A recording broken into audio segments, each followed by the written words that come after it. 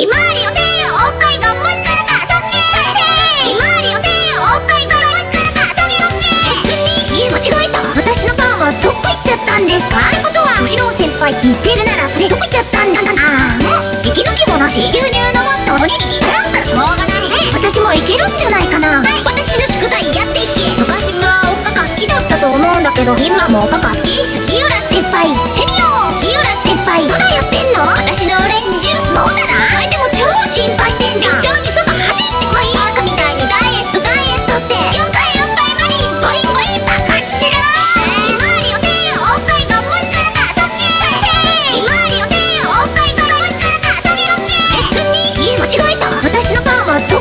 たんですか？ってことは星野先輩言ってるならそれどこ行っちゃったんだ。ああもう息抜きもなし？牛乳飲もっとおにぎりトランプしょうがない。私もいけるんじゃないかな。はい。私の宿題やっていけ。昔はおっかか好きだったと思うんだけど今もおっかか好き